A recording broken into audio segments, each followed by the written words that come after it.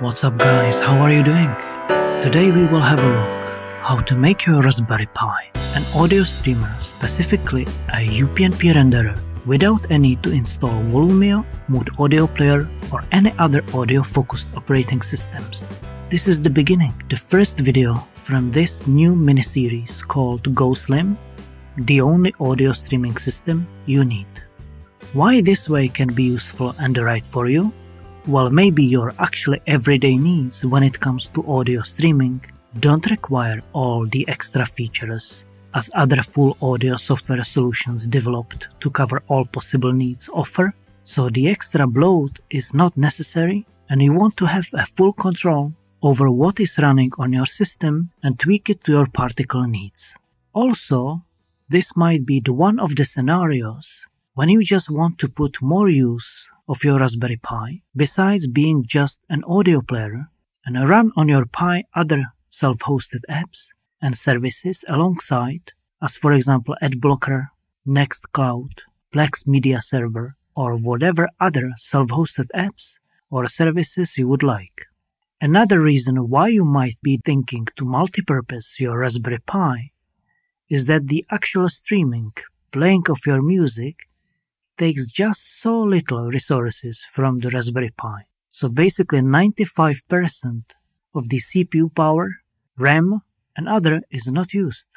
When it comes to this particular tutorial from this series dedicated to UPnP, this is the case when you just don't need any web UI and you don't mind using your phone, computer or other devices as a remote or source of your music. Most commercial audio network streamers work this way anyway, just as UPnP renderers. So you use an app from the manufacturer to control your music or any UPnP app to play your music locally stored or from online streaming services compatible. Plus, as you will see, if you follow my instructions, it is really not that difficult and takes just a couple of commands to set it up. But first, let me explain how exactly this solution will work and overall how UPnP works. I have split this video in chapters, so if you are already familiar with UPnP, you can skip further to the next chapter. So, if you follow this tutorial, you will be able to stream music to Raspberry Pi from your phone, tablet, or a computer. You will be able to stream locally stored music files and also use your favorite online music services, which are supported by your UPnP client app, which could be, for example, Bubble UPnP app on your phone, which supports Tidal and Qobuz. What I will not show you in this tutorial is how to play music from a storage attached to your Raspberry Pi as a USB drive or NAS drive, as I will be dedicating this to another video tutorial.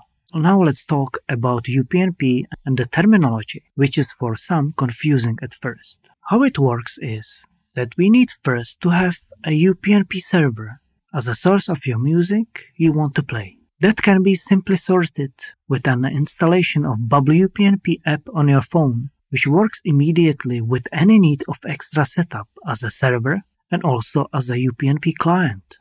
Also, as a server can be used an app on your computer which supports UPnP protocol. That can be even a Windows media player or for example FooBar 2000 with a UPnP extension installed or Audirvana and other players with connected library to a locally stored music.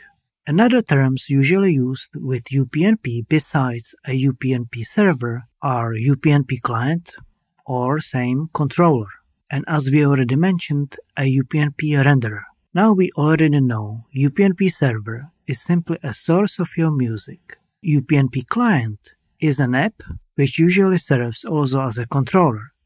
It connects to your server to source the files which needs to be sent to your renderer and serves then also as a controller. A remote, so you can control your playback, change the tracks, volume, create playlist, and other. So the UPnP client sources the music data, collects them, and sends them to a renderer where it's processed ideally without any further decoding if it's sent in a format it's compatible. And then the renderer plays your music on a Linux based system through MPD, which stands for Music Player Daemon, to your audio output. Okay, let's move forward and start installing it. There are multiple options to choose from when it comes to UPnP renderers. But today I will show you how to install GMedia Streamer as your UPnP renderer, which besides upmpdcli renderer is one of the most used even with other complex audio OS solutions.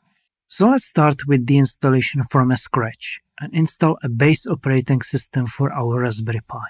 I always suggest as a safe solution to go especially for beginners for Raspbian OS, but you can go for other Debian based Linux systems as Ubuntu or Diet and this tutorial will also work just fine. Especially if you have an additional audio head attached on your Raspberry Pi, Raspbian is recommended as has the best hardware support and all known drivers are already included as we want to reserve as much as possible of our compute resources. And the main point of going this way is not to install anything what we don't need.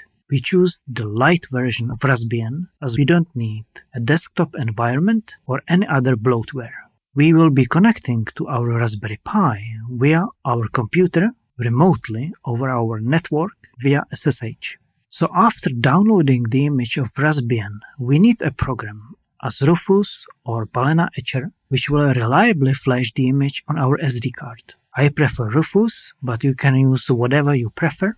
When we have successfully flashed the image on our SD card, we can safely unmount the SD card reader from our computer, but we need to insert it once more again then, as we need to write one extra file on it. If you are on a Windows machine and even if you inserted the SD card reader with the SD card in it and nothing is happening, you need to try again until it's recognized and you can access the boot partition. What we need to do is to create a new file in the boot root directory on our SD card. To do so, we have multiple ways, but I just simply create a new text file there called SSH then I remove the extension as we need it without an extension. Alternative way how to create the empty SSH file is via command line. Click on Windows Start menu and search for CMD. Open the command line and type the drive letter your SD card was associated to. Enter and type echo dot ssh. This file will tell to our Raspberry Pi during the booting process that it should allow the SSH access. Without it, we would not be able to access our Raspberry Pi and we would need to connect it to a monitor and a keyboard to, do the install. Okay, so now we are ready to unplug the SD card reader from our computer again and put the SD card to our Raspberry Pi. We need to connect it to just a power supply and the Ethernet cable. You can set up Wi-Fi later on if you would like to. Okay, so now that we powered our Raspberry Pi, we give it a minute to properly load the system for the first time. Now it's the time to move to a next step, which is connecting to our Raspberry Pi via SSH from our computer. That can be done in multiple ways. You can use, for example, Windows PowerShell or a free program called PuTTY, but I will be using my favorite SSH client called MobaXterm. For the actual connection, you will need to know your Raspberry Pi IP address. If you don't know how to find it and how to set it up to a static IP address on your router, you can watch my video dedicated to basics with Raspberry Pi to find out. If you are on a fresh install of Raspbian or any operating system, the native SSH port is 22. So let's put Pi's IP address here and connect. First, we will be prompted to trust to this host. We confirm yes and then we will be asked for login details. On a fresh install of Raspbian, the default user is Pi and the password is Raspberry. Okay, so now we are in. First thing I always recommend before doing anything else is to update our system as from the time the image of Raspbian was released, there could be some updates. To do so, we type a command sudo apt update and sudo update upgrade. Now let it do its thing until it finishes.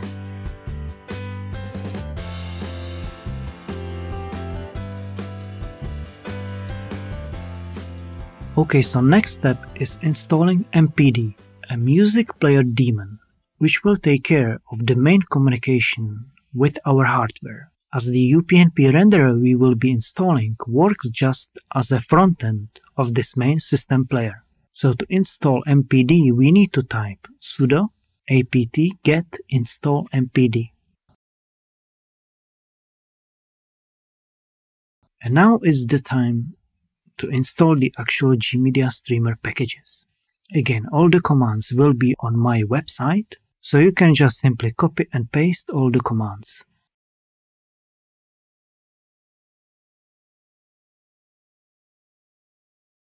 Okay, so we need to install all these packages to make it work.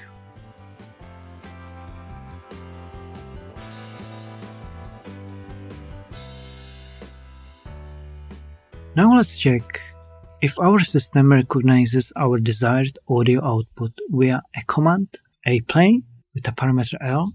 This command will list all recognized audio outputs.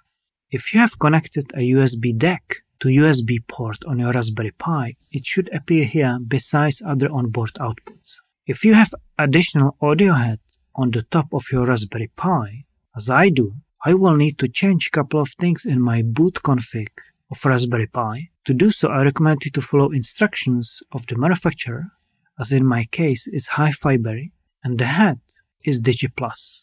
So I need to edit boot config file. sudo nano slash boot dot slash config dot txt. We have to remove the line DT parameter audio on. You can delete it or comment it with a hashtag, which will disable it the same way. And then in my case, I need to add this line so my board is recognized and drivers loaded properly. DT overlay equals HiFiBerry Digi. For your particle audio head, DAC, digital transport and other, check your manufacturer manual to set it up properly. Now, Ctrl plus X to save the document, Y for yes, and enter. Back in the command line, let's set our audio output as default device. There are a couple of ways how to do that. What I will do is edit the main ALSA config and set the default card there. Again important is not to mess up the correct number, so let's check again with the command. Aplay with the parameter L, and in my case it's card number 2. So sudo nano slash user slash share alsa alsa.conf. We need to scroll down and find these two lines. Default CTL card and default PCM card and change those numbers to our device. Be careful, these config files are space sensitive, so don't add or remove any. Save the file. Now we can check the config file of our UPnP renderer to see what we can change. Sudo nano slash etc slash default slash gmedia renderer. As we can see, this renderer offers to us in its config file just few options to change, as it's meant purely to be just a renderer, not also a media server. But we can change the name, how it will appear on our network. We can also set the initial software volume, which is by default 10, 20 is fine for me. And then if you would not set the default audio device for our entire system, we can specify it here. Okay, so let's save the config, Ctrl plus X, Y for yes, and enter. Now we need to type last two commands. So this renderer starts and also starts always after any boot up. sudo systemctl enable gmedia renderer.service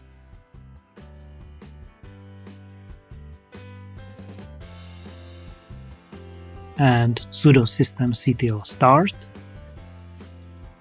gmedia renderer.service.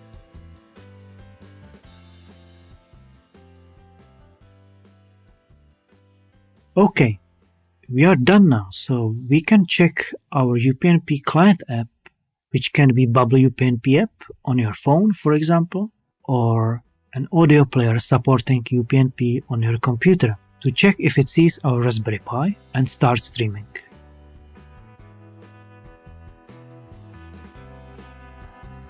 And as you can see, I can use foobar 2000 on my computer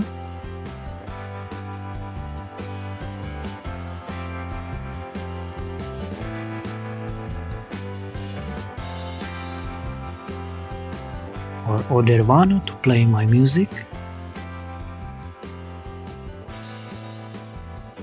or WPnP on my phone. And as you can see it works perfectly fine. Now you might think and how is the sound quality and how it compares to some of the most popular audio focused operating systems. Is there a difference? Well, I will answer those questions in one of my future videos in this series later on, so stay tuned.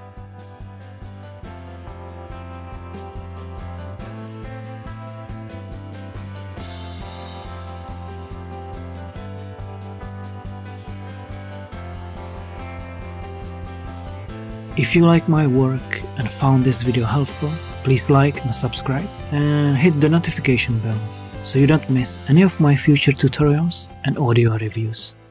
Thank you for watching.